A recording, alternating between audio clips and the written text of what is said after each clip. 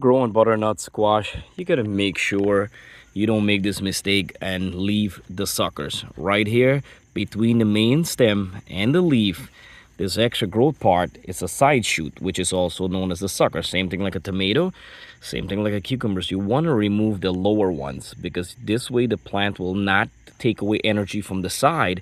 Look we have another one here right? We're going to remove that remove this and then look we have another one right in the middle here but we have a little butternut squash all the way there. So we're going to remove the leaves leave the butternut squash right there. So now the energy will be focusing up and this is our growth growth point right here. We want this to produce and grow fast because we're coming on into fall time so we do not want to waste a lot of time growing leaves